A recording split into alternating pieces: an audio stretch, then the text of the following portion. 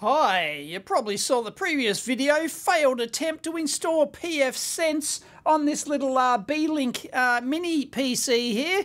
Well, yeah, that didn't go very well, so um, I am going to install uh, OPNsense. Um, I'll give it a try. People gave me some uh, ways to possibly solve the, um, problem that I was having with pfSense, but uh, screw it. I'll just do uh, OPNsense. A lot of people said that's better anyway. Um, OPNsense, here we go. Oh, that looks oh very similar. Very similar. I guess they're based on the, it's a fork, is it, or something? Uh, perhaps. Don't know what the history there is, but uh, let's try it. See if we get the same error that we got with pfSense.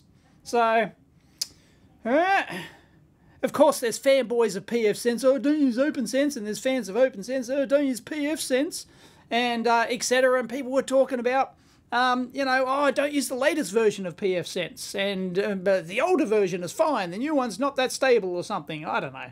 Ugh, goodness. Running um, interface assignment option, press any key, blah blah blah. Configuring firewall.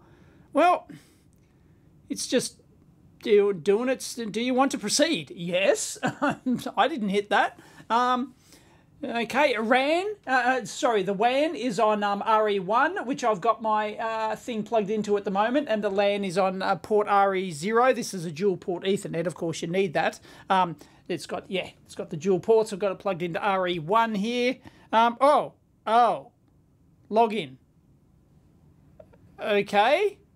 Uh, well, no, login. Firmware error. Same problem. There you go.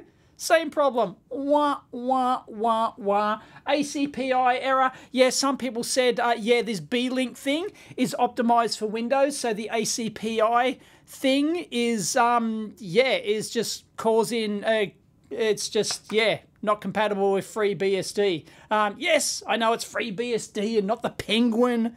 Um, anyway, so, yeah, um, that's a fail for that too. Wah, wah, wah, wah. Catch you next time.